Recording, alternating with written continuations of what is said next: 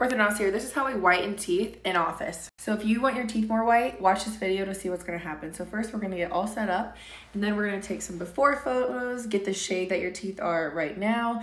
And then we're also going to go ahead and polish your teeth so they're nice and clean for all the whitening product that's gonna go on.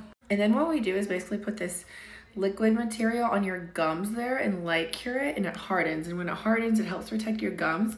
So that way the bleaching material does not get on your gums and cause any burning or any issues with your gums. And then after we've done that, we go ahead and we start to apply the whitening product on all of the teeth there.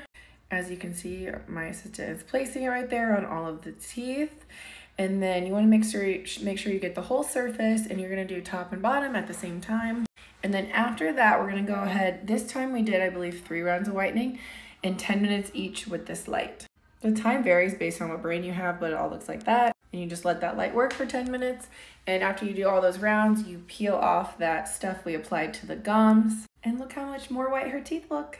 They look so great. Go get it done.